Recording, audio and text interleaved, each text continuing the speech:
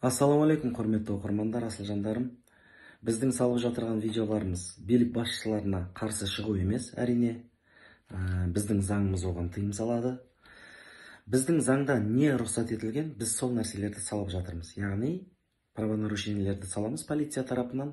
Келесі полициялар қайталау мақсатында және басқа жүргізушілер сол мәселені қайталау мақсатында барлық заң аясында жүруге ә, талпынсын тырыссын деген мақсатта шығарамыз. Иә менің мақсатым бір полицияны әшкерелеп оның отбасына немесе жұмысына кедергі туғызу емес.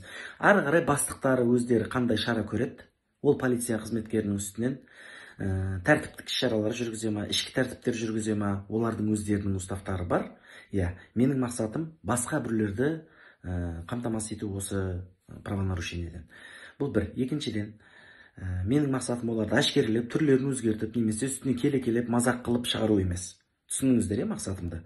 Ә, екінші нәрсе барлығымызға заң ортақ. Қазақстан республикасының аумағында барлығы заң жүреді. Біздің билік басшыларымыз президентіміз айтқандай заң бәрімізге ортақ. Ә, құрметті марат ахметжанов мырза сіз өте үлкен референдумдар жасап ә, реформалар енгізіп өзгерістер енгізіп жатырсыз.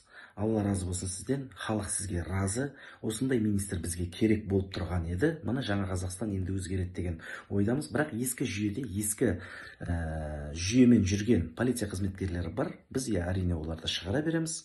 Сіз өзіңіз шара көреді деген жақсы ниеттеміз жақсы ойдамыз. Иә бәрімізге заң ортақ. Енді мен көрермендерімнен талап ететін нәрсем лайк басасыздар комментарий қалдырасыздар видеоны бөлісесіздер каналға тіркелесіздер қараңыздар. Ә, осындай правонарушениелерге сақ болыңыздар және дайын болыңыздар қайталамаңыздар. Рахмет сау болыңыздар. Шымкент қаласы абай ауданы. Құрсай елді мекенінің учаскелік полиция пунктіне келіп тұрмыз. Қара шығанақ 17 мына көлік құралы. Мына балабақшаның кіреберіс жеріне жол жүрісі қағидасы бойынша нарушениемен қойып қойған. Бір қарап өтеміз. Ана қараңыздар. Водительский сторонада белдік тағатын жоқ. Жүруге тыйым салып эвакуатор шақырту керек жоқ водительский сторонасында белдік тағатын жоқ. Бұны басқаруға тыйым салады ғой. Белдік тағатын жоқ. Неге жүруге тыйым салады? Лобовой? Лобовой трещина екен. Бұны енді көтеріп алып келмеген шығар үйінен мынаның айнасында сызаттың болмау керек деп келеді. Водительский сторонасында жоқ. Бағанағы не қауіпсіздік белдігін орнататын.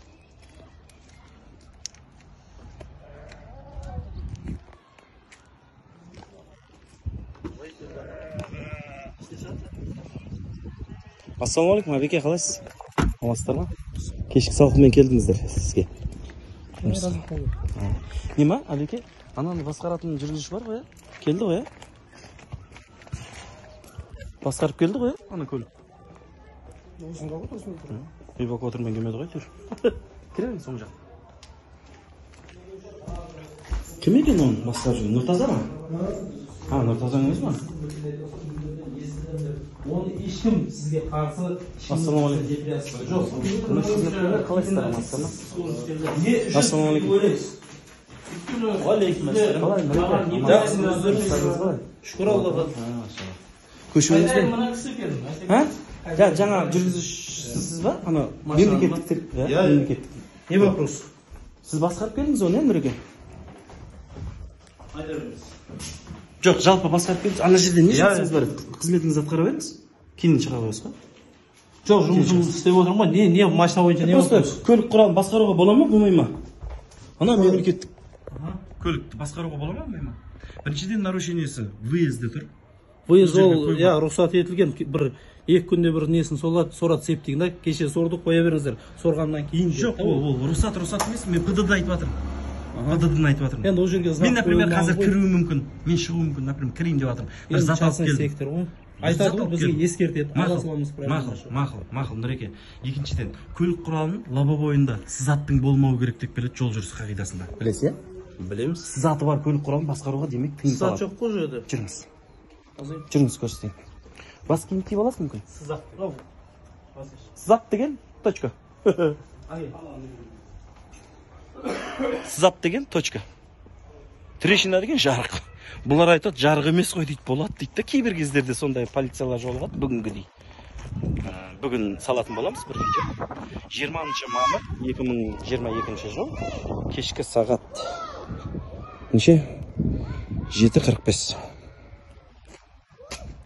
Нұреке бізде жол жүріс қағидасы бойынша көлік құралын қандай да бір мынаның тазалағыштың ауласында сызаттың болмау керек деп келеді. Мейлі ол жүргізушіге кедергі туғызсын туғызбасын ше енді обязательно мына жерде болмау керек. Жалпы мынаның айналасында дейді. Мына жерде болсын мына жерде мынау сызатқа жатады біздің заңымыз бойынша. Бұл иә ол заңды мен шығармадым. Иә бұл бұл бұл қазір болған емес. Менің көрермендерім бұл жайлы видео жіберген.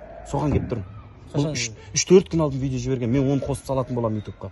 Сіз сенбейтін болсаңыз. Хорошо бұл бұрыннан бар. мен жоқ бұл бұрыннан бар. Сіз қарсы болсаңыз өз еркіңіз. Менімен соттасасыз. Енді екіншіден мына көлік құралын екінші басқаруға тыйым салынатын сізде кілті бар ма? Кілті бар ма көлік? а іште қалып кетті ма Ә, қауіпсіздік белдігін тағатыны бар ма анау? Водительский сторонасындағы жоқ мынаған тағылады анау Жоқ, жоқ. бар ма? Жоқ па? Жоқ иә водительский мынаға неге ременге тағылады? Мен қасында отырсам қалай қыламыз мен қасына отырамын екеуміз бір артына отырады мен қасымдағы адамдар екінші адам жол жүрісі қағидасы бойынша болмайды ғой сіздің іс әрекетіңіз. Қазына көлікті басқаруға тыйым салады. Анау бұзылып қалды ма? істету керексіз оны істетіп ол сұрайын жетіп қоямыз иә енді істету керек қой нұреке мен соны айтқым келіп тұрды ғой братан.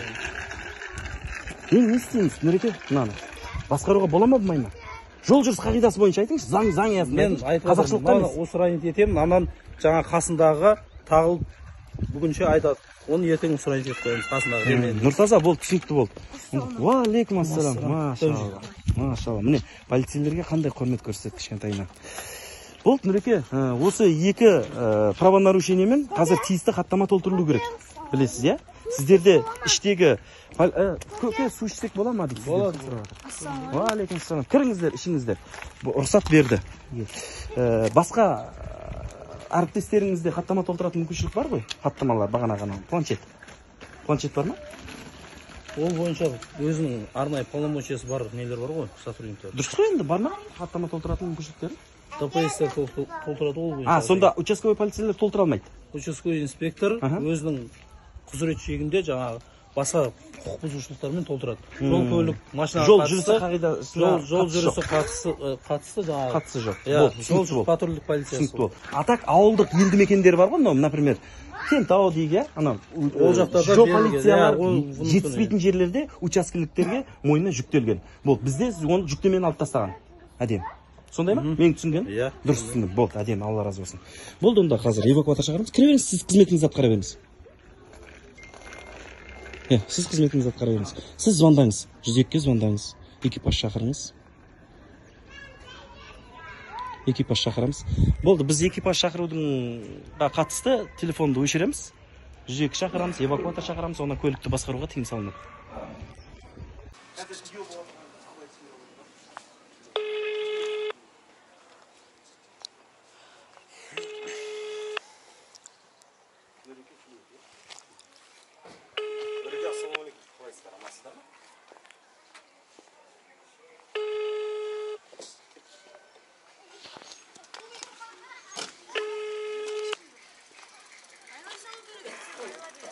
айттым ғой саған камераға деді онда менің номерім дамайды ғой жүз екі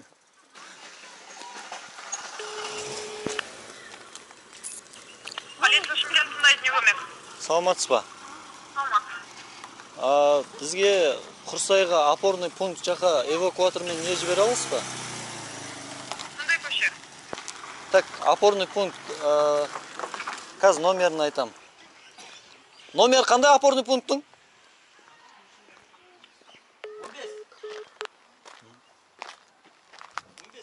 он бес па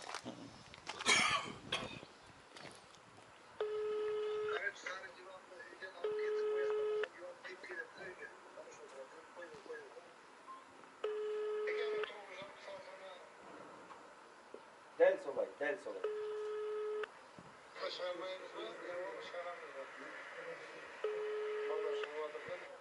қайсы қайсы ол тоғыз жүз алпыс алты түсінбей жатырмын қол ұста алеке бізде қол тимей жатыр қазір қоя тұр кішкене басалас тұрып кетті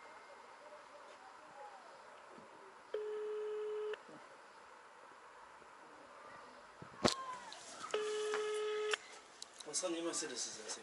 не жақсы алекең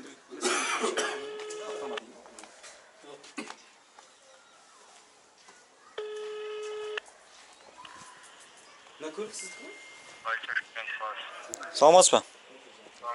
Оператор номерді айтып жібересіз ба Оператор 12. он екі а, ато қойып қойып отыр да бәрі так бізге 15 опорный пункт абайский ә, құрсай елді мекенінде орналасқан опорный пунктқа эвакуатор жіберіңізші Құрсай мөлтек ауданы дейсіз ба? иә иә құрсай мөлтек ауданы 15 опорный пунктқа Қай көшеде орналасқан ол? көше? Көшесі бар ма? 15 опорный 15 десеңіз білетін шығар енді полиция қызметкерлері ішінде бір ақ опорный пункт бар өзі бір опорный пункт садиктің қасында қара шығанақ қара шығанақ қара шығанақ көшесі екен 17 Эвакуатор қажет болып жатыр ма сіздерге? иә иә басқаруға тыйым салынатын автокөлік бар.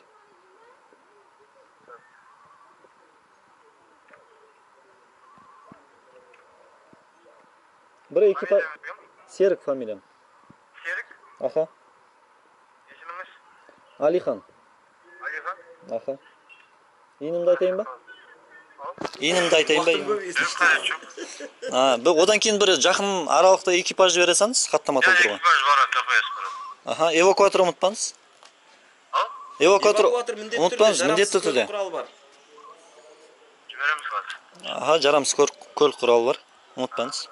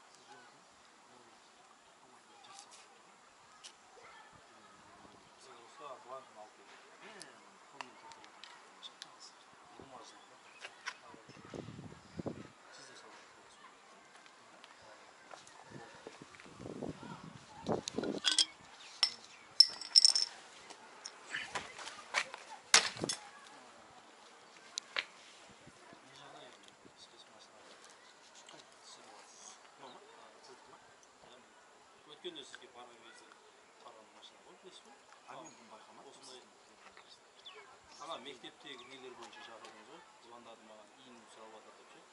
Үйде. Салам осылай осылай. Дедім сол е жоқ кім бар ғой асқар әліпбаев ағам жоқ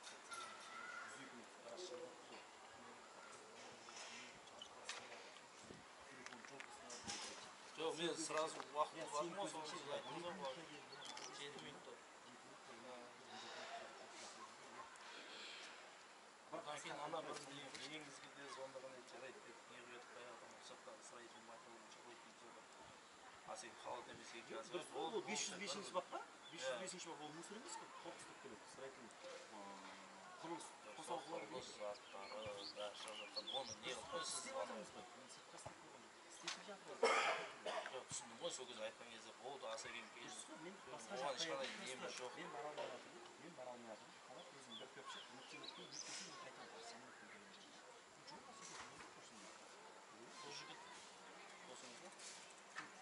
жаңадан басталып активистер.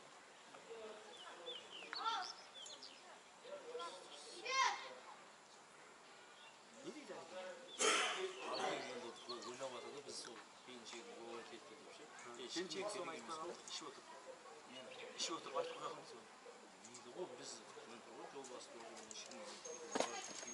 жол ол сөзі болса болса жоқ оны айтсын бетіне келеді ғой бар басқа жүзіндегілер қарап та айтып бере аламыз жазып бер ол наоборот әлі неғып шара көрмей жатса қасымдағы тоже жатқан бар ғой содан бір екі оны процесс болып қойып біз мына түспей жатыр мынау анау мынау деп тартып жатыр да а сол балыққа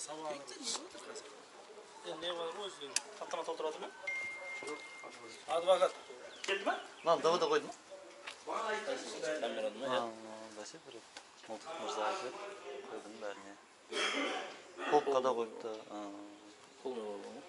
өзің қай жылдасың мен шаян қай жылдасың сіздерде начальник мпс бар ғой қателеспесем али аха сол кісінің почти ауылдасы ғой енді бір ауылдан емес бірақ бәйдібек ауданы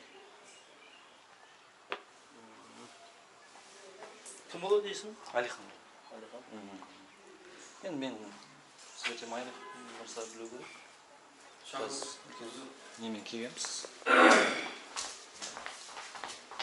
мынаның ішін камераға кім жоқ не ашылсаңыз болады осы болады ғой енді мына камералар бұның ішін түсіруге болмайды негізі госучреждение да Что говорить? қойшы мемлекеттік мекемеде түсіруге Сіздерге қашан тыйым салынбайынша? дұрыс қой енді біз сыртта бір действие сіздерге заңсыз Участковый пункт полиции создан для чего? Территориальный халықты қабылдап жатыр паршағын қабылдап жатыр для приема граждан, правильно?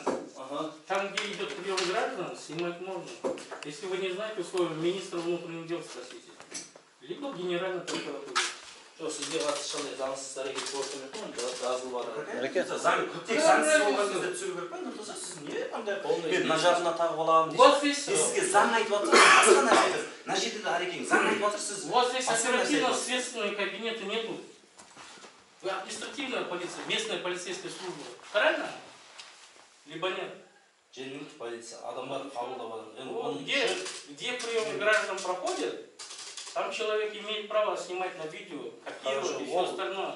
А то, что вы сейчас запрещаете мне, это вы лишаете моих прав гражданские, конституционные. Понятно? сіздің құқығыңызды ешкім шектеп жатқан жоқ мен айтып жатырмын сізге бұл мемлекеттік мекеме мемлекеттік мекеменің ішінде камера түсірмей арызыңыз неңіз бар ғой сізге ешқандай не болып жатқан жоқ жағын сұрайды бәрі заңның шеңберінде сұрап аласыз адвокатыңыз болып енді астанада дедіңіз ғой Еще қазір енді какие қалған проблемы? адвокатыңызды шақыртып Я жатыр для чего это видео снимаю? Показать, во-первых, вашу работу, во-первых. Во-вторых, э, если вы будете оказывать какое-то морально-психологическое давление, ешқандай давление болмайды Вот я Есть поэтому люди на где-то видео Волгоград. снимаю. Но вы просто, я вас знаю давным-давно, вы из-за меня, из-за моей жалобы, да, получили административный штраф, дисциплинарное Не- не- наказание. не болды. Правильно? жоқ ешқандай жауапкершілік болған жоқ қысқартылды бұл сотқа барып ісіңіз шағыңыз бойынша қысқарды За маску, да? не замазка кәдімгі соттың шешімімен қысқарды Не мне. вот шағым бойынша толтырылған протокол Ну, протокол составили же за отсутствие э, маски медицинской. вот сол сотта қысқарды Ну, я вам про это и говорю. сол бойынша жауапкершілікке тартылдыңыз Но дейсіз все ғой, равно, енді я знаю, что у вас негативное от- э, отношение ко мне осталось. ондай ешқандай негативный отношение жоқ сізге қатысты біз ондай не емеспіз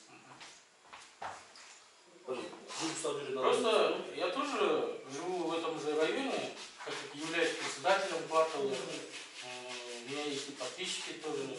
Я, например, в отношении лично вас, да, майора полиции, очень много слышу плохих, негативных отзывов от, от людей.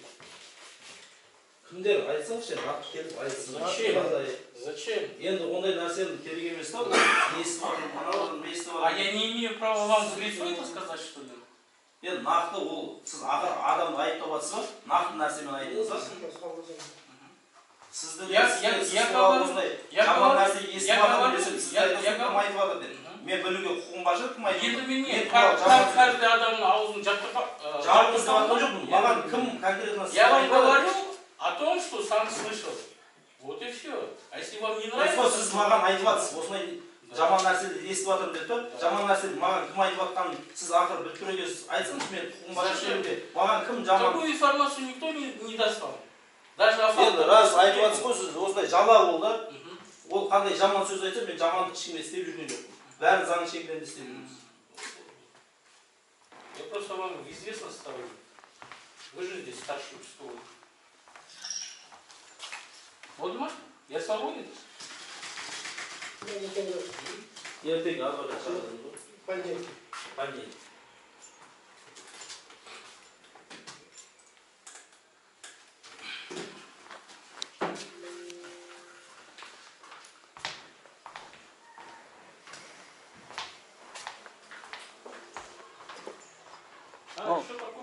Такого? техника безопасностьқа қатысты нәрселерді не алайық арыз жазсын да арыз жазып берді ғой келсеңші ары екен ашуланып кетті? Сигналы есть? Это же государственное учреждение же, да? да мемлекеттік мекеме Ну, а где? заявкасы берілген өтініш жазылған орнатады өтініштер берілген өтінішін көрсек бола ма халық ретінде ол өзіміздің неде канцелярияда канцелярия сол жақтан жолдаған иә бастықтың атынан Ну, вы же понимаете, что за это тоже предусмотрено Не, административная ответственность. тоқтар опять- пожарный ситуация анау тұр ғой дейміз пожарный а мынау ма иә қазір номер қайда пожарный номер жазу керек жүз жүз бір щит щит должен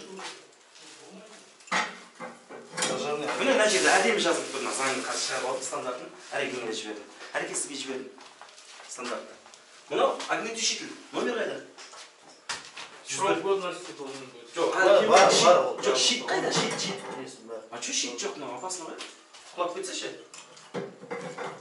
бұл стандарт бойынша машалла мына жерде ештеңе көрінбейді мына жерге шығарсам болады ма Я она не буду, но сурету а оны қазір лимонад шығар қыз Ары қарай апарсаңыз сол. иә иә бұл басқарды өзі екі мың екі сияқты. А? Істеді. басқаруға тыйым салынады. Лобовой? лобовой трещина одан кейін ремень тағатын жоқ. водительский сторона жиырма бірі. Екі жүз. Келіңіздер. Әреке а екі мың жиырма бір май. Енді екі мың жиырма үшке дейін болады. жиырма үшке дейін иә болды. Халас. Бірақ бұл білесіз ғой стандарты бойынша қазір мына жерде әдемі жазылып тұр. Щит болу керек арнайы. Енді ол сіздің кінәңіз емес сіздің кінәңіз емес сіздің алдыңыздағының да кінәсі емес ол А, я же хотел жалобу написать же. Принесли?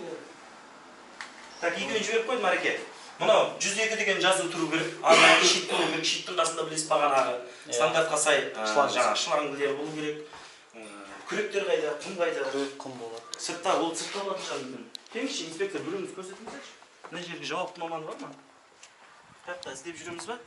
Бағанағы эвакуация инструкциясы қайда жазылып тұр Щит, жоқ мына жақта, щит құм жоқ щит жоқ нарушение? Ол негізі кімге де нарушение? Бағанағы төтенше жағдай департаментінің мойнында ол иә иә. Негізі соны істеу керек оларға да штраф толтырылады. Жоқ ол сияққа толтырды бинге бинге дұрыс қой енді бұлар тапсырыс бермеген ғой. Бұл демалатын ба Демалды. а келген адамдар иә? Жоқ, ашылған көрді ғой. а өзіңізге ма Иә. кәдімгі жекеменшік үйіңіз сияқты Жоқ, кешіріп қойыңыз. қараңыз Бұл енді бұл не болды? Осмотр ма или не ма? жоқ жоқ жоқ қараңыз Осмотр. қараңыз сіз есіміңіз кім Обыск ма не болса есіміңіз кім еді Нұрғали нұреке қараңыз менің есімім асхат балқыбаев қоғам белсендісі қараңыз мен сіздің үйіңізге кіріп тұрған жоқпын Дұрыс үйімізге кірмесеңіз, бастық арқылы келіп, пожалуйста, келіп тексересіз. А, именно мүмкін мынаның ішінде наркота бар шығар бомба бар шығар Вот шақырсаңызшы, бастық Шақыр- шақырыңыз. қазір шақырамыз мына кабинетке кіру үшін бастықтың рұқсаты керек па азамат, азамат болып келдіңіз ба? Арыз арыз бар ма? Азамат болып келдіңіз ба? Арыз жазып бересіз, пожалуйста. бұл мекемені лично менің налогыма қатысты болып салғанда бұл мекемені ше мен де налог төлегенмін осы мекемелер салыну үшін ше налог төледім осындай мекеме салынсын деп менің үлесім бар Халыққа дұрыс қызмет па жасайды. енді менің үлесім бар жерде мен өзім кіре алмаймын? Азамат кешіріңіз, мен сізден өз өзіңіз бар жолын сұрап тұрған жоқпын. Мен сізге айтып отырмын. дейін еркін жүріп Сіз арыз шағым жазасыз ба? Пожалуйста, арыз шағымды қабылдайды. конечно арыз шағым жазамын потому что сіздер Мемлекет налог төлесеңіз, ол сіздің конституциялық құқығымыз еркін жүріп тұру Иә. Ол да конституциялық құқығыңыз налог төлеу. яғни сіздер бірдеңе жасырып жатсыздар ма бұл жақта?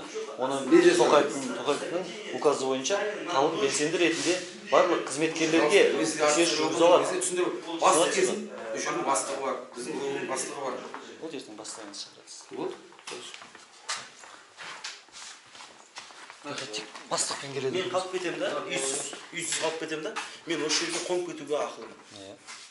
Жоқ, мен мемлекеттік мекеме қона алмайсыз ғой. келіңіз онда сіз заңға бағынбайтын азамат екенсіз онда заңға бағынамыз бәріміз заң бәрімізге бірдей Оставши. На ночь людей. Приказ?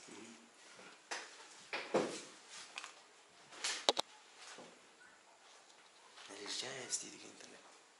Нашар істейді. Приказ министрства через без. Екі мың бесінші жылы. чрезвычайный ситуация жағдайда Жоқ, жоқ. чез жағдайда чез жағдайда су алды. басқа мысалы мысалы қаңтар оқиғасы болды мысалы сол- сондай уақыттарда. Жақсы. Бірақ мен соған қонып кетеді екен ғой, сондай кезде. е дұрыс қой сондай жағдай болса қандай жерде жатамын. кім? Жататын менің жатақ уақыт болады начальница бар Менің уақыт жатақ жатақ орындарым жоқ мен сізге емес түсіндіріп айтып жатырмын мен сізге түсіндіріп айтып жатырмын бастық бар бас жуған бар соларды шақыртыңыз сіз арыз жазуға келдіңіз ғой. Арыз бойынша келдіңіз дұрыс па? Арыз шағымызды қабылдаймыз. А сонда тек қана бір нәрсемен шектеле ма сонда? Азаматтардың құқығы? Арыз жазу кезде тек қана арыз жазу керек болды ма? Қазір енді қазір тексеріп өтініш шағымдарыңызды облыс бойынша сіз дұрыс оны қабылдайсыздар. Ол сіздің полномочияларыңызда бар да?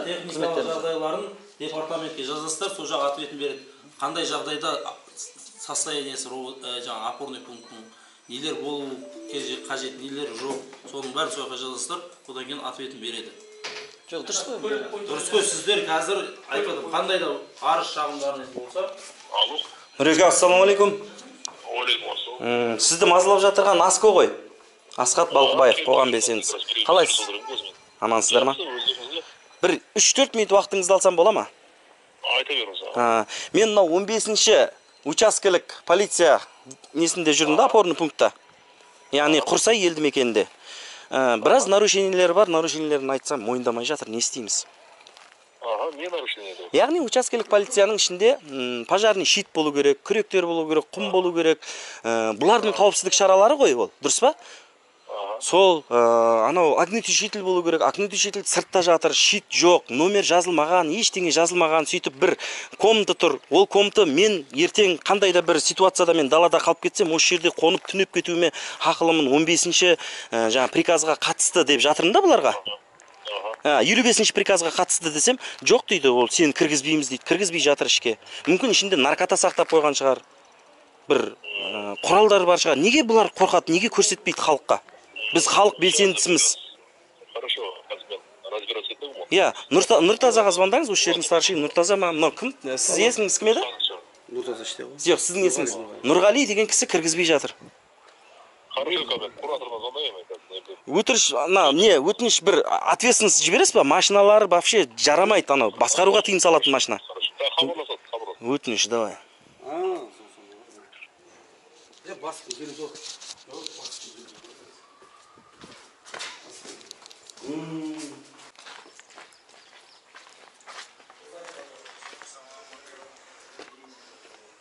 бар екен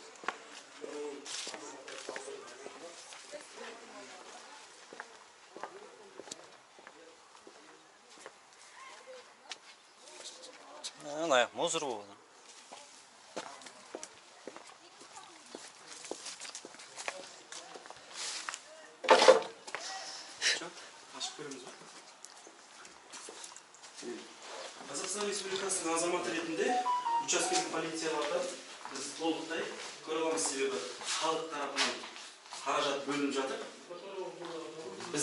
салығымыздан бұл кісілердің салығынан иә?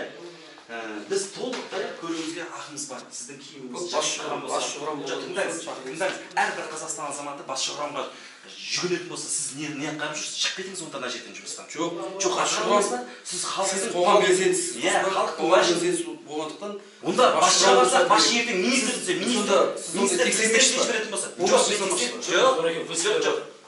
текс- тексермекші емеспін дұрыс қой сізге айтып жатыр нұреке нұреке менің азаматтық уәжім бұл.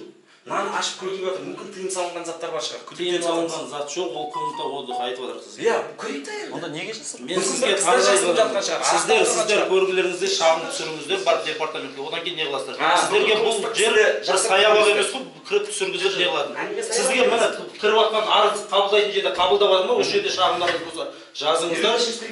Бойынша мен сізге шағыда айтып жатырмын сіз өйтіп ә, жаңағы учаскелік тірек пункт түсіріп нелік ә, камераға түсіріп ә, интернеттік желіге салуға құқылы емессіз. Біз келіспейміз. Себебі ертең шағым тастаймыз. Азаматтық кодекстің жүз қырық бесінші бабы бойынша. Болды болды мен келісемін. Хорошо.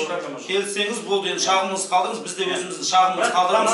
бұл ашылмайды ашылмайды. Иә ашылмайды. Сіздерге тағы да айтып азаматтары елу бесінші приказ бар.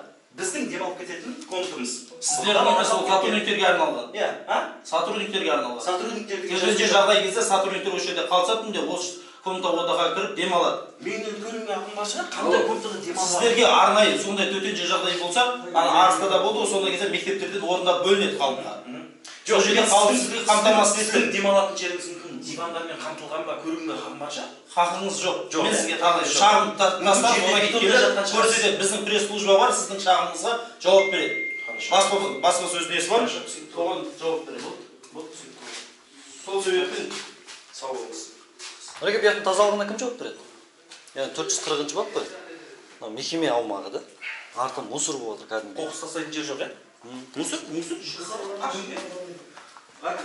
кәдімгі анау дарбыз жегін ба қоқыс тастайтын бар екен ғой міне жоқ сол қоқыс тастамаған ғой әдемі ғой тап таза міне мына жақта артта мекеме арт аумағы жағы бұларға жұмыс істемейді алдын тазаласа болды.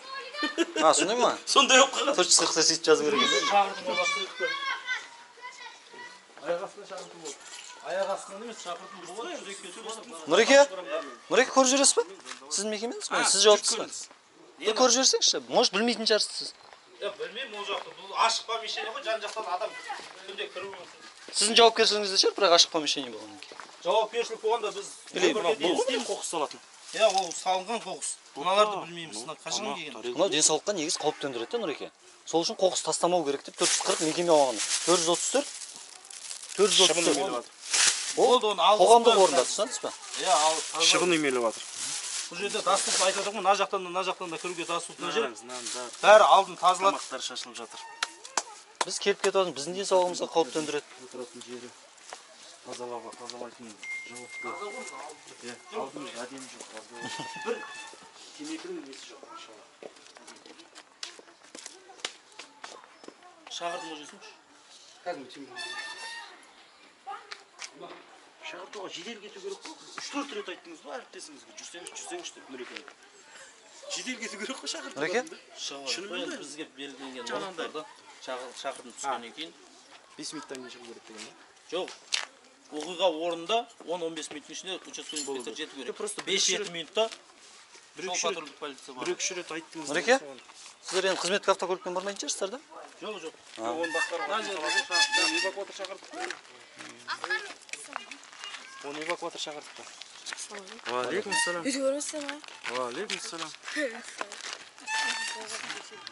Sonra сол жерден қашып кетіңдер деді ғой типа диқандар да бар. себастьян деген киноны көруге кеттім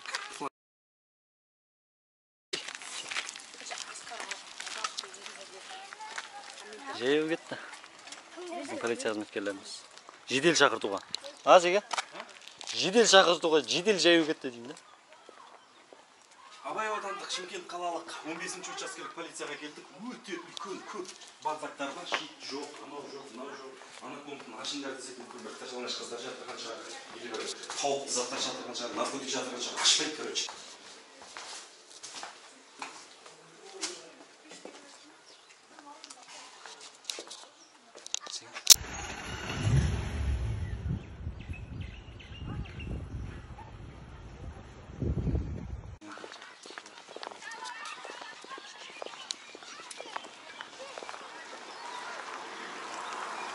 опа ой өзіңіздің сотрудниктер келді ғой кет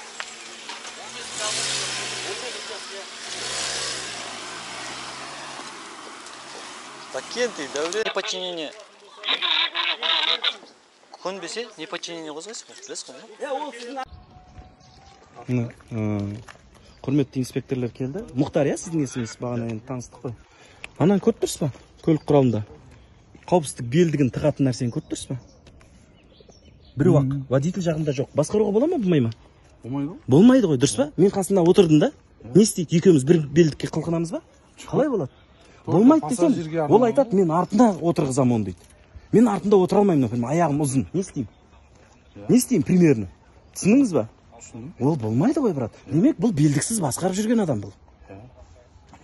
Мен үйтіп басқарып жүрген жоқпын мынаған тығамын дейді. Е жол жүріс ережесінде мынаған тық анаған тық деген нәрсесі жоқ деймін. Әрқайсысында өзі болу керек деймін тәртібі бойынша. Мына міне қауіпсіз бас- басқаруға тыйым салады. Номер шешесіздер қазір или эвакуатор шақырасыздар. Біз до конца күтеміз. Эвакуатор жіберемін деді ма сізге екеуі дтп да жүр үйтті бүйтті бірақ негізі номер шешуге бар ғой стандарт бар ғой жеті жүз тоқсан жеті эвакуатор келсе алып кете береді ғой жоқ дұрыс қой енді номер қалай қыламыз эвакуатор келмей қалса не істейміз сіз күтіп отыра бересіз ба енді эвакуатор ат тілеп номерін аламыз алсаңызшы енді болды ғой эвакуатор брат бір жарым сағат болды біздің күтіп тұрғанымызға бағана сіздерден кеттік осы жерге келдік әлі жүрміз рация ашыңыздар эвакуатор эвакуатор бос емес эвакуатор бос емес екеуі екеуі де дтп-да тұр иә жоқ болатын болса номерін шешіңіздер екі номерінде басқаруға тыйым салады. А ертең қалай басқарады бұны ертең екінші рет келеміз бездействие. Бізде бізде білесіз ба министрдің приказы бар. Тонировка. Мына неге сіздерге жоқ тонировка? Бұған тонировка бар. Участковый полицияға алып тастау керек қой. Неге тонировкамен жүр? Ол да нарушение. Вообще ана местный полицейский службаның көліктерінде боковой сызылу керек бәрі. Иә сәнделген болу керек көк сызықпен какой жиырма екі сантиметр ма көктің ананың ананың несі ше расстояниесі ақтың қағазын ше тонировкаға толтырасыздар ма даки хаттама толтырды десем кетті қазір жолда көрдіңіздер ана екі инспекторды ол екі инспектор сөйлесіп қалдыңдар ғой сөйлесіп қалдыңдар ғой сол өзі жол басында Иә. ол екеуі ар жақта көшеде кетіп бара жатқан иә мен мына шақырды жоқ опорныйда шақырып жатыр деді ма бірдеңе деді ғой енді сендерге біз видеомен түсіріп алдық оны жоқ оны а күтіп тұр деді ма сіздер ма шақырған көмекке деп сіздерде сызғыш бар ғой линейка асхат мырза линейка бар ғой ана ана көлік құралының да жүргізушісі шықты. Маңдайында қара пленканы тексеріңіз. Келіңіз мұхтар мұхит. Қара пленканы тексеріңіз. Жоқ сызғышыңызды алсаңызшы мына он төрттен анық асады. Демек жүргізуші тарапындағыны тексересің жүргізуші жағындағыны. Қанша нарушение? Біз өзіміз өзіміз жөнделмей халық жөнделмейді мұхтар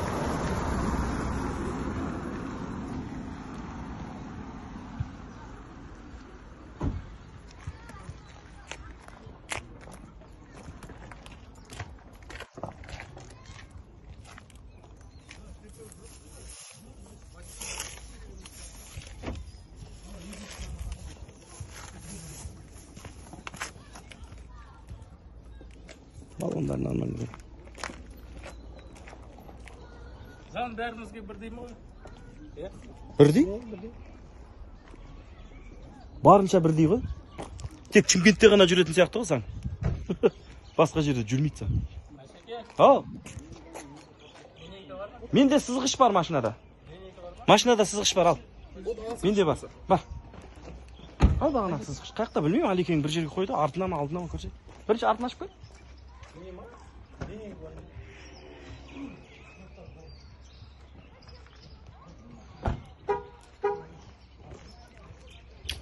Әділ болсын бәрі четкий болсын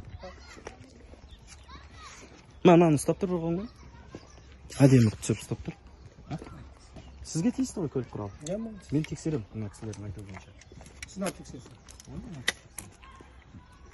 жоқ мынадан тартсаңшы міне мынау ғой ернеуі төрт жарымда сегіз сантиметрін шығады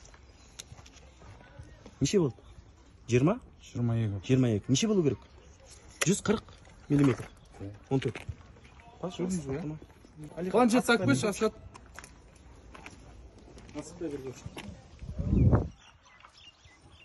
фирмаларды салыстыр затемнение тұр екен ана реклама. Под номер. Реклама. Мына ма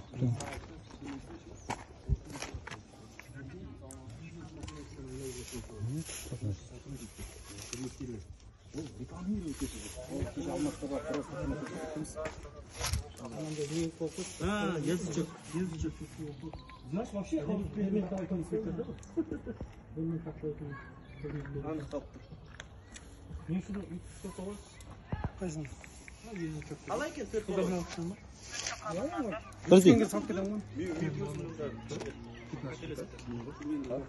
мұхит мұхит мынаның стандартын білесің ба мынаның стандартын білесің ба Жоқ. жиырма бес сантиметрден аспау керек ана заводской тұр жиырма бес сантиметр аспау мынау не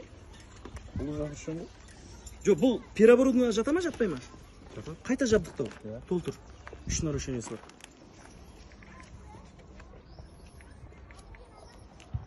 кімге керек кімге керек емес соны білейік та кім заңмен жүреді кім заңсыз жүреді менің машинам төрт машинам бар төртеуін тексерсін артындағы бар ғой жасыл жилеткеге дейін бар дтп болып қалады бір жолда тұрып қаламын ғой иә жасыл жилеткеге дейін сары фонарыма дейін бар ешқайсыларыңызда жоқ ол нәрсе қазір ашып көретін болсам мен жыртылып жарылып жатырған жоқпын осы заңмен жүремін да алло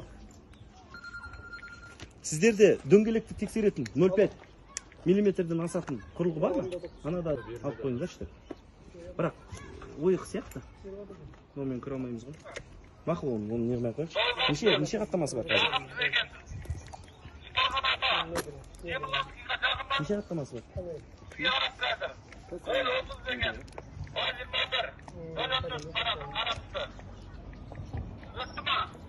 мынау мұхтар сіз менімен келісесіз ғой жүргізуші ретінде және дпс ретінде иә мынау белдік тақпай жүрген ма- машина көлік құралы белдіксіз жүреді өзі де айтып тұр иә белдік тақпаймын анау тұр ананың үстіне қоя алмайды ғой иә оған да толтырасыз өзі мойындап тұр жоқ ол ол бойынша егер де басқарса қазір ше ал ол тығылып тұр қазір ол мен ол кісіге айтып жатырмын ескертемін ананы алып тастаңыз иә дейін қойып қазір басқару керек егер видеосы болса жазуға болады. дұрыс айтасыздар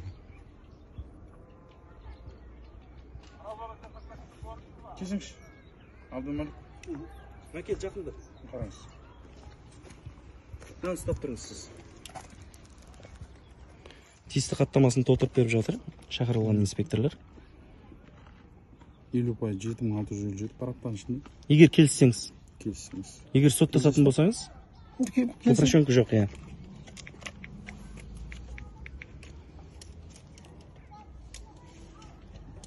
Кеше бізде мынандай инцидент болды трассада. Ә, жүк көлік құралының маңдайына ше анау несіне? Люгіне ше люгіне не іліп алған? Фар. Прожектор. Қосымша прожектор. Переоборудованный ғой дұрыс па? Сол переоборудованныйды бір кісілер тоқтатады да тоқтатады да. Сізге мынандай жұлдызды кім берді? Тоқтатады да хаттама хаттама толтырады да. мәке мәке хаттама толтырады да тиісті мынандай болу керек. Тиісті орган ше? А мынандай жылтырақ тегіс болу керек анау. Мүмкін участковый сондай болатын шығар. Жоқ. Погонмен сатып алғанбыз ғой. Қараңыз. Мұхтар хаттама толтырады. Сөйтіп номерін шешеді. Неге? Для устранения дейді. Устранить дейді дұрыс па? Устранить ету керек қой енді бағана сізге айтқандай. Иә, иә, иә. фарын алып тастау керек. Ол ол айтады жүк көлігінің құралының жүргізуші. Мен қазір устранить ете алмаймын ғой СТО-ға бару керекпін дейді бағана сіз сияқты. Сіз де СТО-ға әлі бармағансыз ғой әлі жүрсіз. Енді жұмыспен мақұл. иә, енді қараңыз мәке мәке мен айтайын деп жатырғаным өтініш. Мынаны қазір устранить етуге болады? Алып тастау керек? Егер пленка болатын болса. Егер пленка емес қолдан келмейтін болса не жақын маңайдағы СТО-ға апарып лобовойны ауыстыра это ваш проблема. Түсіндіңіз ба? Соны ескертіңіз айтыңыз. Оның құқығы. Сіз білім ретінде айту керексіз. Кейін артындағы енді ана антеннаны тәркілей аласыздар. Қазір тәркілеп аласыздар оны. Переоборудованный толтырып жатсыз ба енді? Мынаған бұл переоборудованный спецмашина емес шығар ғой. Жоқ ол спец какая разница? Спецмашина болсын. қойғаныңыз сіз қазақстан азаматысыз ғой оборудование переоборудование жазады да ол сіз қоймау керек сөйтіп стандартқа сәйкес емес та. Мынау артында тұрған көрдіңіз ба? Ол өзі заводской шыққан да ол ол тұра береді оны ол 25 сантиметрден аспау керек менің білуімше. Стандарт бар өзі. Қараңыз әбеке тағы бір нәрсе. Мен енді пддан альхамдулилля жақсымын ғой.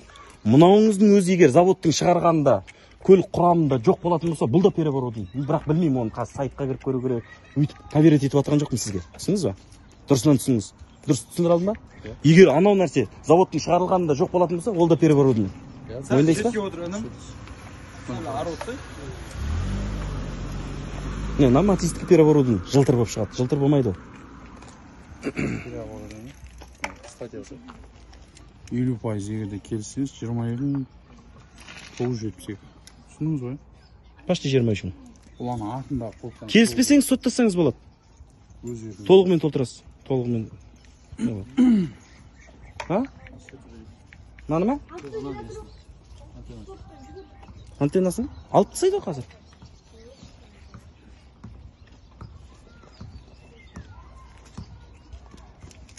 Сіз ананы шеше бермедіңіз ба асеке? Сізге айтайын анау неңізді егер устранить ететін болса устранить етіңіз қазір. И ана артқа багаждан алып тастаңыз дәл қазір арттағын енді алып тастай алады ол оңай. Жұлып алады или болтпен шешіп алады. Мынау пленка болса қазір жыртасыз немен апарып естуден алдырамын а? Бұны басқаруға болмайды сізге егер ала алатын болса алынатын болса. а қазір алыңыз алынса қазір тастаңыз иә қазір алыңыз көздің іші қоғам белсенділерін. Сырылмайды ештеңе болмайды. Аласыз қалғанын жуасыз. естуға апарып. Ол егерде тонировка шешуден қасқыр болып кеткен мына кісілер? лобовой егерде дәл осындай болса? Пленка ғой алынады. Алыңыз соны. Мынаны. Толтырып беріп мен екі хаттамасы жиырма екі мың жеті мың мынау бірақ оборудованиеға жатпайды камера. Бұл өзінің қауіпсіздігі үшін. Бұл басқа жол жүрісіне қатысушыларға кедергі туғызбайды камера. Ал? Қарасаң заводской өзінің тонировкасы Міне өзінікі бар бұл он төрт мына есепке есептеп көр міне мынаны жиырма екі шығып кетті ғой ана жиырма екі шығып кетті ғой брат. Дұрыс па? Мойындайсыз ғой? Болды әдемі. Алынбайды дейді. Алынады ғой сол қаныңға камералар дейді болыпты машалла. Енді ол өзінің қауіпсіздігі үшін. Оған еш тыйым салынбайды бізде заңда. Артына қой үстіне қой разница жоқ. Үстіне қойса да болады. Ештеңе болмайды. Камера ол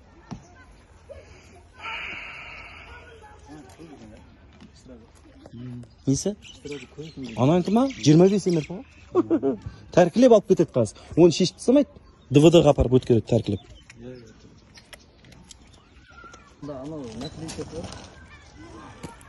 тонировка сияқты ғой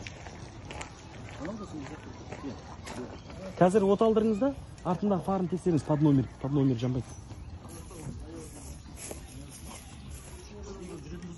Қандай наклейка бұда? Иә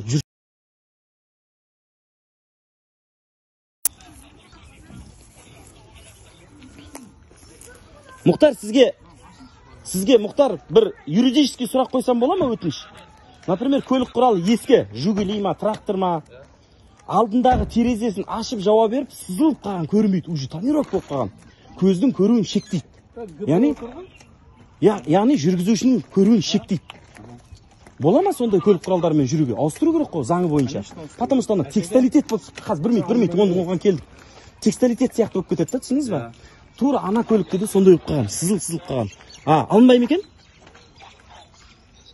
машалла маған а мына шестикрайник па мынау кішкентай шестикрайник қой алынады міне шестикрайник мен ана екінші машинамды айдап келгенде техпаспортын талап етіңіз техпаспорт бар ма алыңызшы тағы переоборудование егер бермесе үстіндегі нөмерді тексересіз базаға кіресіз бізде заңда ол жасап тұрма жасамай тұрма қарамайды қайта жабдықталған дейді болды. Ол бензинмен жүрмін дейді тағы мүмкін айтуы мүмкін азаматтық куәжін оны сотқа барып айтады. Бізде установлен болды хаттама. Мына қара қолдан толтырған. Кім бұған рұқсат берді мына қара? Қолдан не қылған? Бірдеңені апарған а бұл камеранікі ғой гбо бар ма? Бжгбо бар екен. Гбо бар екен машалла. Әдемі заңмен жүретін полиция екен. Енді бізде ә, ананы алу керек қой. Алмаса не істейміз? Бар ма? Не істейміз алынбаса басқаруға бола ма болмай ма? ол кісі әкімшілік хаттама толтырды толтырылды. Ескертілді, алдындағысын устранить етті жоқ оны оны алып тастау емес. Тәркілеп алу керексіз ғой сіз. Дыбыс апарып өткеру керексіз қой. Енді бұл жерде қараңыз қараңыз қараңыз. Переоборудованный үстіне қазір көк және қызыл маяк салып қойды. Или сгу салып қойды. Не істейсіз? Хаттамасын толтырасыз да оформить етесіз тәркілеп аласыздар ғой тура сол сияқты ғой тәркілеуге жатпай ма бұл тәркілеуге жатады енді не істейміз? біз неге апарайық онда айыптұраққа апарып айыптұраққа апарыңыз иә эвакуатор шақырыңыз айыптұраққа апарыңыз шешіп сол жерден тәркілеп алыңыз түсіндіңіз ба болды әдемі келістік басқарып кете ма или эвакуатормен ба басқара берсеңізші өзіңіз айыптұраққа айдайсыз ба шешіп береді ғой не керек ол айтып айтып қай жерде шешіп береді эстода бір және шешіп беремін ғой онда эстоға барамыз дәл қазір. Қа- жақын бірге барасыздар онда иә? Барып устранить етіп болды от алдырыңыз фарын жағып көріңізші фарын жағып көріңізші сіз мына көлік құралының фарын жағыңыз бағана сізге қойылған сұрақ. Мен көрермендерім жібереді осыны. Білесіздер миллион просмотрым бар. Фарын жағыңыз жанды әдемі. Под номер жанып тұр. Болды жанады. Четкий. Болды. Эстоға бара бересіздер өздеріңіз? Ау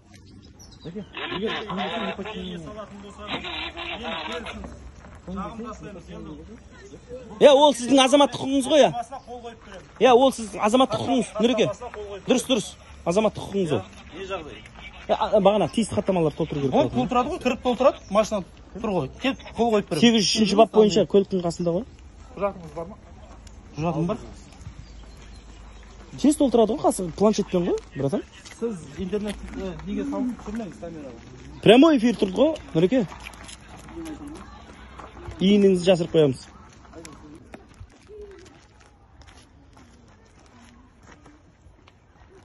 А енді бұны қалай қыламыз мұхит? Қазір қалай қыласыздар бұны?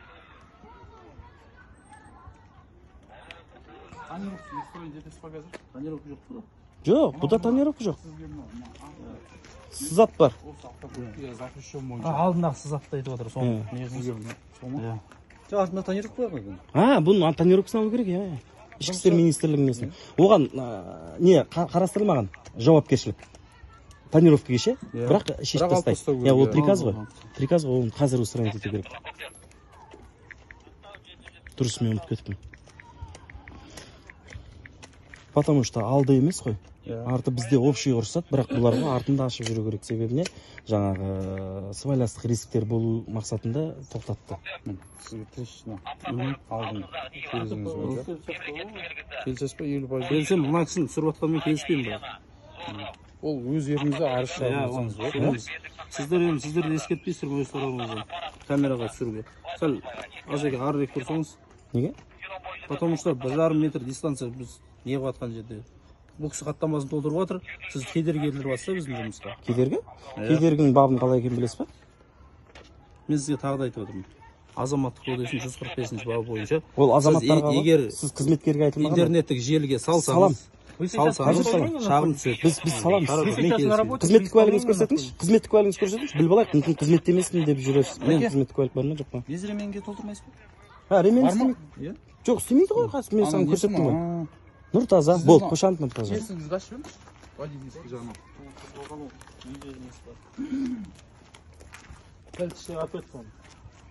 мынау несі ғой? Язычок жоқ вообще басқаруға тыйым салады қауіпсіз бола ма? Болмай ма? Екінші қатардағы неге? Ол жаңа сынып қалды да. Жаңа? Алып қойды иә. Жаңа сынып қалды? Басқарғаны бар осы.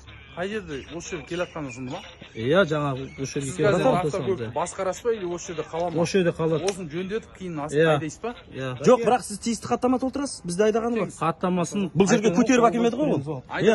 Видеосы? Иә бар. Бола ма көруге ютубтан ақ шығарамын мен көрмей ақ. Хаттамасын келісем өзі мойындап тұр ғой келісемін деп тұр ғой. тоқсан он екі отыз бір.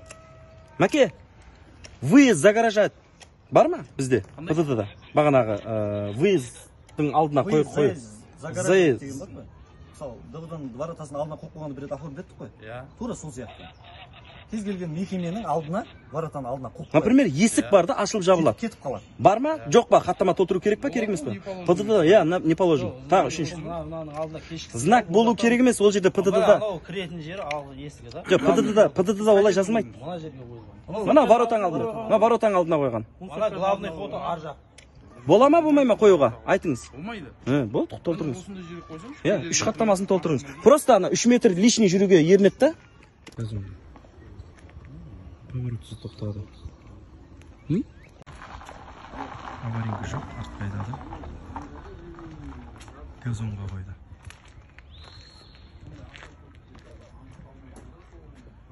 Сіздерге келген неме? А бұл да қызметкер екен машалла. Не деген нарушение білмеймін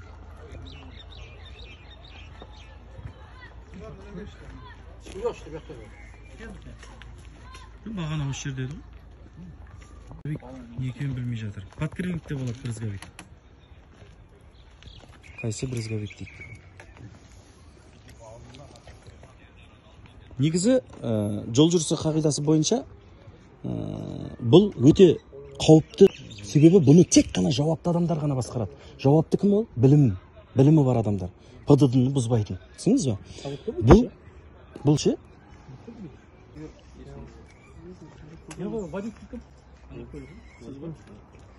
сіз жол жүріс қағидасын білесіз иә көлікті оң жаққа және сол жаққа тоқтау барысында бұрылғыш шамдарымен көрсетіп тұрып тоқтау керек екен бірінші нарушение сізде. Потом у вас лобовое имеет повреждение.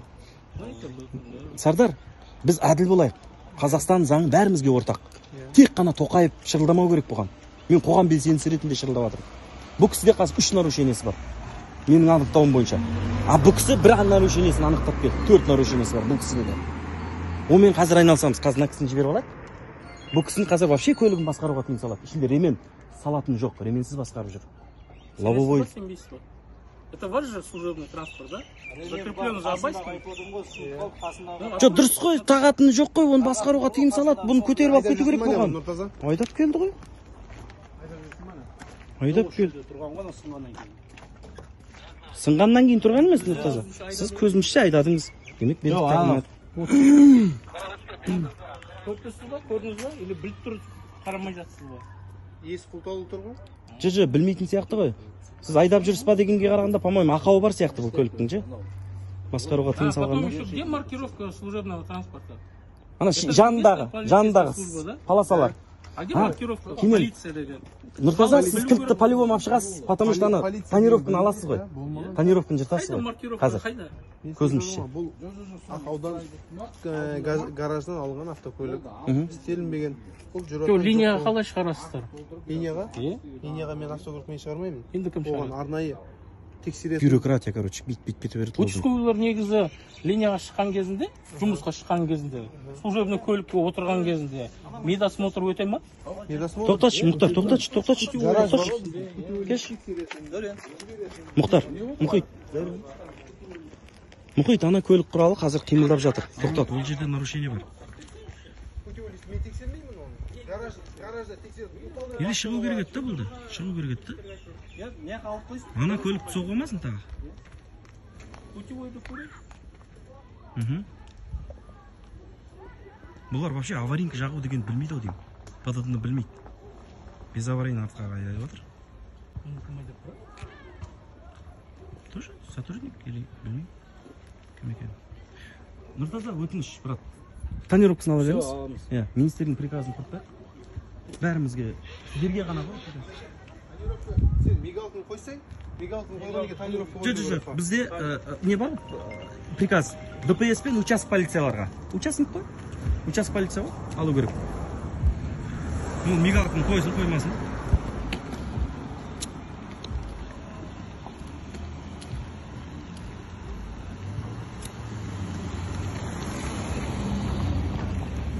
Светтер бәрі жана деген арты. Аварийный қоспады артқа айдағанын артқа айдағанда аварийный қоспады не қоспады жаңа сіз қоспадыңыз да аварийный бұл жерде ешқандай знак жоқ қой. Оң жақта тұру керек. А знак болу керек па? знак болу керек па? Пд ны жақсы білесіз ба? Пд ны жақсы білесіз ба? Қай жерінде жазылған ол? Знак болса аварийный қай жағамыз статья жазылған екен? А? қай статья жазылған? Қай статьяда? Артқа айдауға ма артқа айдау кезіндегі ма? Аварийный жағуды? артында ешқандай қазір препятствие дпс дпсник айтады жоқ. Препятствие болу керек делінбеген. Айтыңызшы түсіндір. Артқа басқарған кезде аварийный жағу керек. Артқа қарай жүргізген кезде аварийный жағасыз сигналдар знак жоқ дейді қандай? Ол знак керек бұны давайте ә, жүргізуші куәлігін экзаменге жіберуге сіздердің толық құқықтарыңыз бар. Мен приказ тауып беремін қазір. И қосымша мен арыз жазамын жоқ жоқ ол жерде тонировка жоқ емес тонировка емес құжатыңызды алып жүріңіз құжат беруден бас тартып жатыр ма жоқ жоқ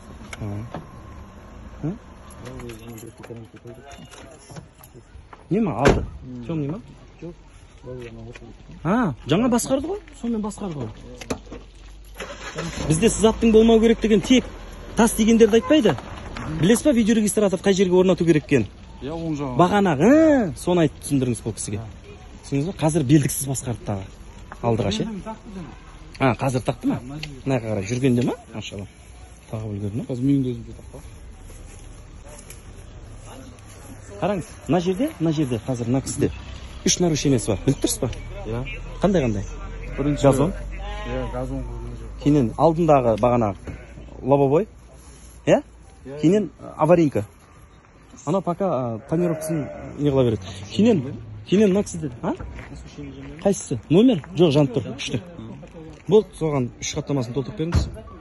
Міне бізге абай аудандық полиция басқармасының басшысына звондадық. Басшысына звондадық. Жоқ мен сөйлесіп жатырмын ғой? Бұл кісіге айттым да жаңағы ішті түсіруге только пресс службаға өтініш жазасыздар одан кейін келіп түсіресіздер ішкі помещениені түсіремін қай жерде жазылған түсіндіріп айттым. Қай жерде басқа сөз бар ғой біздің жоқ нәрсе жоқ нәрсе айта бермесеңші ертең базардан нан сатып алу үшін тағы бірдеңе жазасың. бір парк емес қой ішке кіріп түсіретін да. Жоқ жоқ мен басқа нәрсе айтайын деп жатырмын оған басқа нәрсе ішке керек емес. Участковый пункт керек емес. полиции для чего предназначен? Теңіз мына біздің учаскелік полиция Иә. орны. Иә. сардар қалай болу керек? Өзіңіз Қалай болу ойыңызша? керек? Төтенше жағдай бойынша. Төтенше жағдай. департаментінің сыртындағы щиттер болу керек күрек болу керек құм болу керек шелек болу керек. Қайда? Біз приказбен кетіп тұрмыз елу бесінші приказ. Екі ішкі істер министрлігі мен төтенше жағдай қосылып шығарған приказ елу бесінші приказ білесіз ба? Соның он үш он төртінде жазылады сонымен кетіп тұрмыз соны талап етіп жатырмыз бүгін бұлар бізді шақырды. Шақырды келдік жақсы болды қайта кеше тоқаевтың айтқанына қатысты. Түсіндіңіз ба? Қайда? Тексере аласыз. Қадағалаймыз сіз көресіз? Ескертуіңізді егер мысалы уәждеріңіз болатын болса бақылауға ала аламыз бақылауға ала аламыз. сіздің мысалы полиция қызметкеріңіз қалай жұмыс атқарып жатыр? Сіздің учаскелік инспектор. Дәл солай не алуға енді тексере алмайды тексеретін мысалы біздің өзіндік қауіпсіздік басқармасы бар. Полиция қызметкерін тексеретін оның іс әрекеттерін оған жоқ арыз түссе ғана ғой. Енді дұрыс қой енді арыз бойынша егер сардар білем білем мен. сіздің наразылығыңыз болатын болса? Щит жоқ наразымыз щит жоқ. Бұл да біздің ең қымбат азаматтарымыз. Ертең алла сақтасын бір төтенше жағдай орын алатын болса жоқ қой не істейді? Щит жоқ шланг жоқ огнетушитель далада жатыр жерде тұр. Қай жақта жоқ іште да ана щитте жоқ. Щиттің ішінде тұрады ғой енді ол. На законном основании өзінің тұратын жері бар. Ә, есікті ашайық ішке кірейік. Ана хананы көрсетпей жатыр. елу бесінші приказдың бағанағы он жетінші тармағында келеді. Түнде қалып кеткен азаматтарға қонуға арналған жер болу керек дейді. Мейлі ол өзі болсын сотрудник болсын әрекең болсын. түнде қалып кеткен қалай азаматтарға қай неде көрсетілген ол? Қалып кетуге сізге. полиция қызметкері оның ішінде қалдырып кетеді. Мақұл. біздің жұмыс орнымыз уақытымыз. Бізге сегіз сағатқа айлық иә төленеді жиырма Дұрыс үш нөл нөлде жауып кетесіздер. Жиырма үш нөл нөл жауып кетеді. Сағат кешкі жетіден жиырма үш нөл нөлге дейін. таңғы тоғыздан сағат он үш нөл нөлге дейін. Сол уақыт аралығында айлық бізге төленеді. Дұрыс па? Ал ол түнде қалай алып қалады ол жерде? Кім қалады? Қала алмайды ғой. Ешкім қала алмайды. Сағат он бірге дейін Иә, жоқ жиырма үш нөл жақсы на ночь деген жазуы бар да? Енді просто ананы ашыңызшы көрсетіңізші десе мүмкін тыржалаңаш қыздар бар шығар деп жатырмын мүмкін бір жарылғыш қарулар бар шығар. Мүмкін наркота ұстап жатқан шығар. Наркота? пиво арақ бар шығар деп жатырмын мен сенбей жатырмын да полицияға. Потому что тұрып ал жоқ ашпаймын. Жоқ кірмейсің деп тұрып ал. Жоқ, енді- сондай тұрып ал. мейлі ғой. сіз бастық де- ретінде кіріп шығыңыз мен сізге сенемін. Кіріп ашып көріңізші. Болды видеоны өшіремін. мына мына кісіге айттық қазір ә, алдына жабыстырып қойған нәрсесін. Мұхитке мен дәлелдеп айтып түсіндіріп бердім. Соның өзінде мына кісі Инспектордың өзі фиксация сұрап жатыр. Фиксацияны ютубтан көресіздер дедім. Ютубтан көруге разы. Вы же видели сіз маған қазір протокол толтырып жатсыз да заңсыз толтырып жатсыз ол ешқандай сіздің видеофиксацияңыз болса пожалуйста.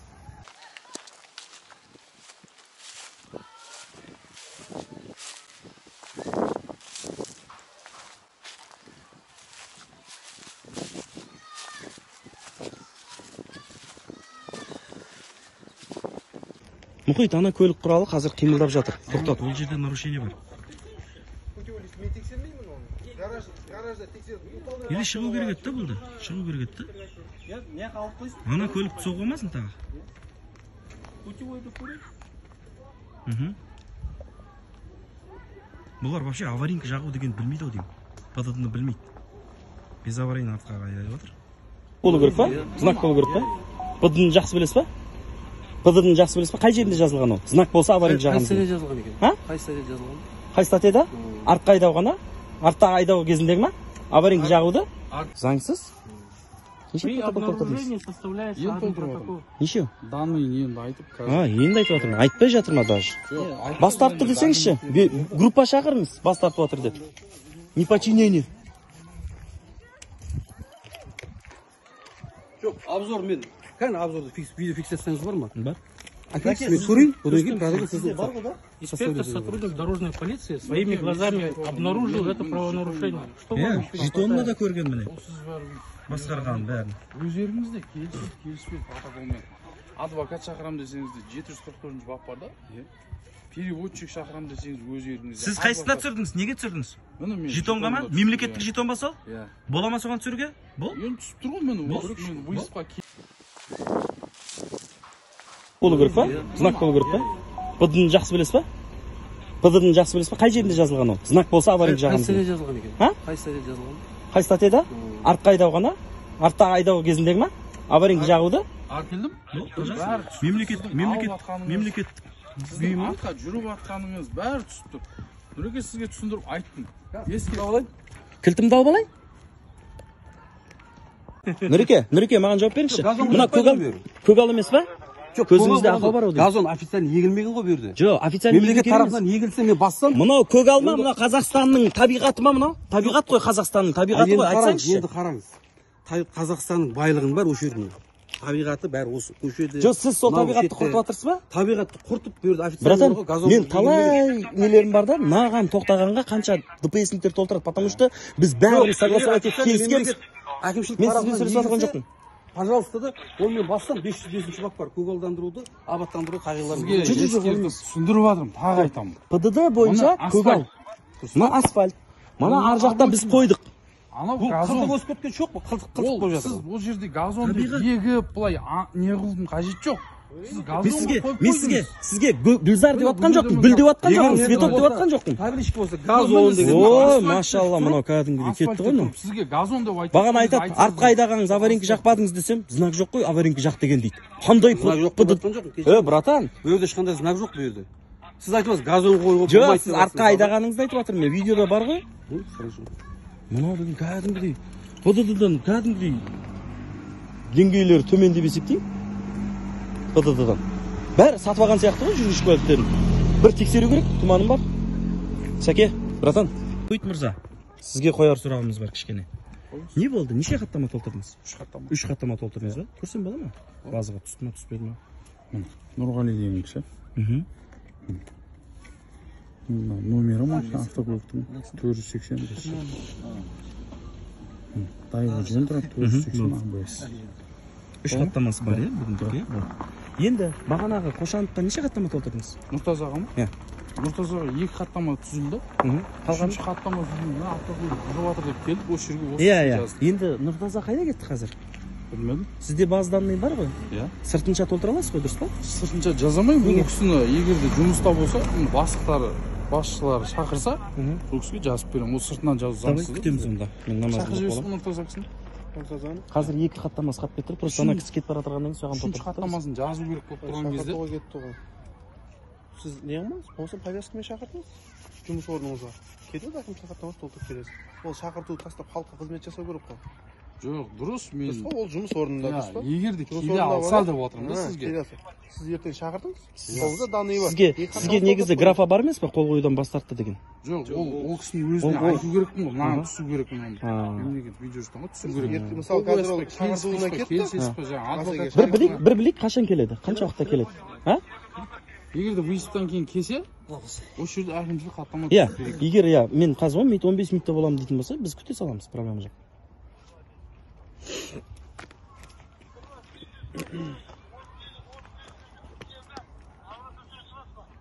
Екі хаттамасы неге толтырылды сіз атына так сіз атына загоражение а ременіне сөйтіп загоражениемен енді ы, брызговик қалды дұрыс па